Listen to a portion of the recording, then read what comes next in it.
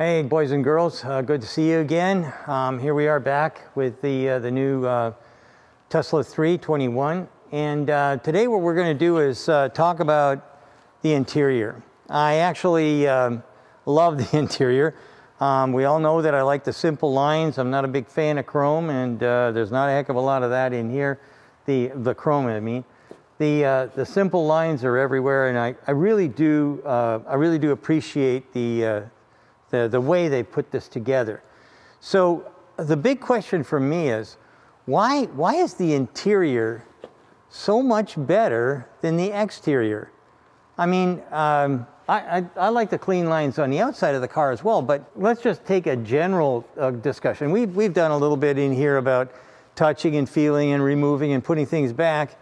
And, and the first thing that comes up is that apart from the fact that it's clean and simple, it's also easy build. This is a very easy build.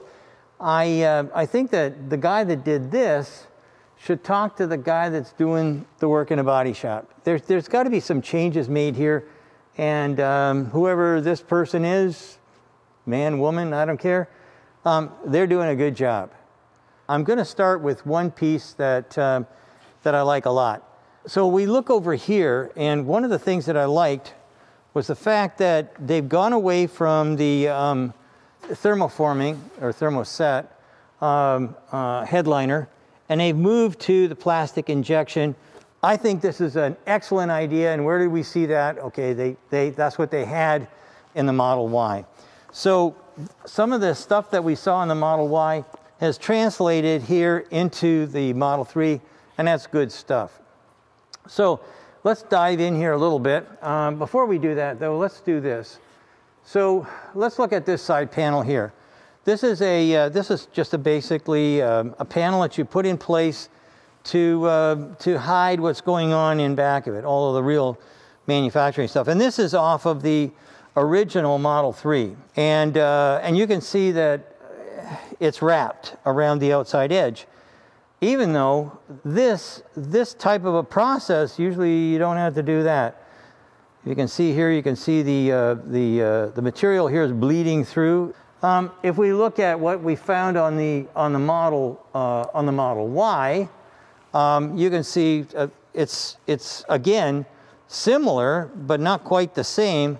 But again, it's, it's wrapped around the outside edge, and really that's not, uh, it doesn't have any benefit. It's just uh, expense without value.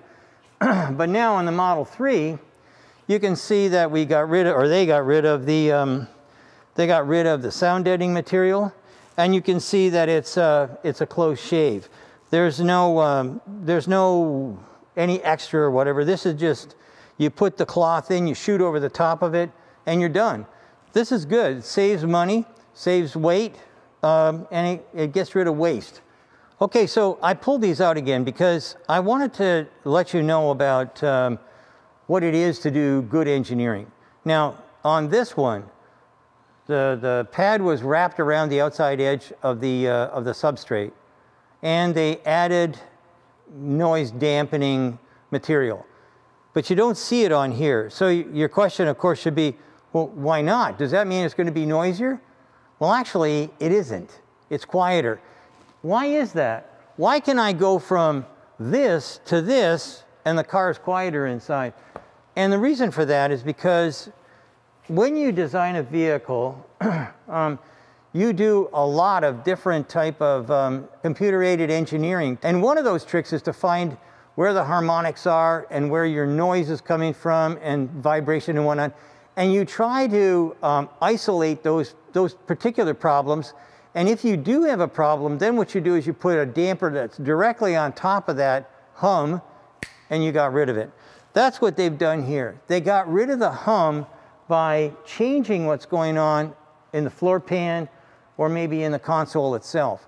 And that way, you get rid of the noise there, and you don't try and and, uh, and get rid of the noise by adding extra stuff. So let's go down and have a look inside a little bit. Let me use my little pointer here. Now we're gonna move inside and we're gonna look at, first off, something that we thought was kind of odd before. So if you look way up here, and we'll try and put B-roll or something in there. If you look way up here, you can see a little bracket. That bracket is for a sensor. The sensor bracket before was uh, 3D printed. That's kind of expensive, and it just begs to tell everybody that uh, we made a mistake. Now that's gone. It's molded right in, and that's something that we, uh, we kind of like to see.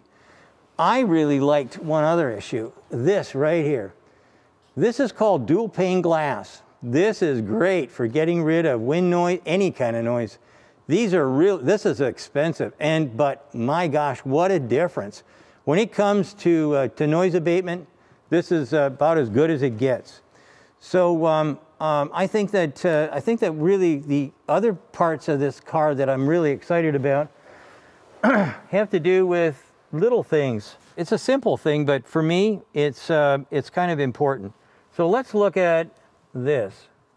I put it in, and it starts charging, and all I have to do is lay it there. And quite frankly, in driving position, this is perfect. I can see everything. It's, this is a really a good idea. Simple but good. I really like that. Let's look at another thing I like. The other one had a flip version for this little cubby right here.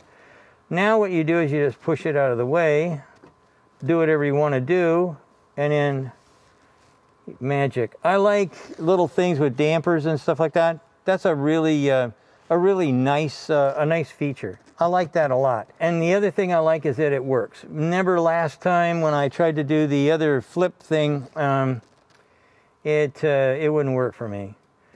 I think that flip thing was designed by the same guy that did the uh, frunk. Okay, so let's, one last thing here um, that, uh, that, that I kind of like.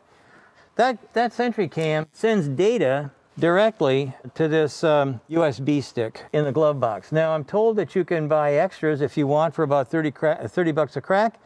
Um, and I don't know whether I'd need that, but, but at the end of the day, this is a nice little feature. It collects your video and whatnot. So that, that, that's all kind of good stuff.